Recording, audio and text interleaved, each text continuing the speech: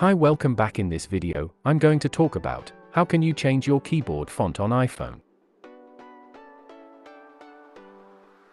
Like this, with different type of fonts.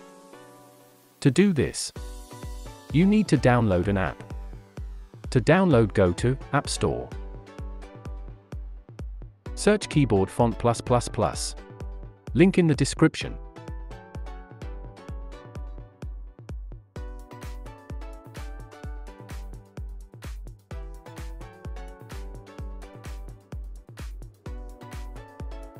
Once downloaded, go to Settings. Scroll down to Keyboard.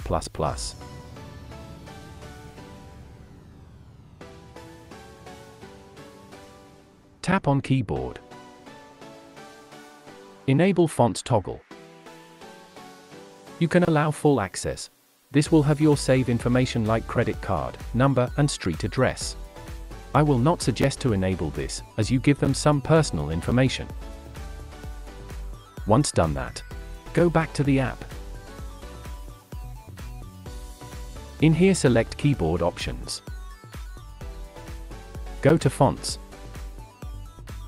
In here you can search for any font and copy it. Not all free you may have to buy premium for that.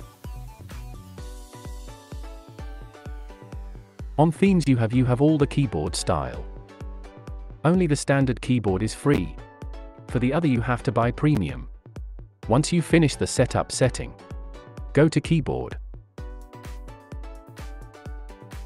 Tap on the icon, on bottom left.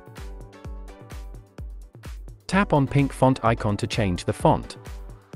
Only with green circle are free. For the other you have to buy premium. To change the font tap on the font you like.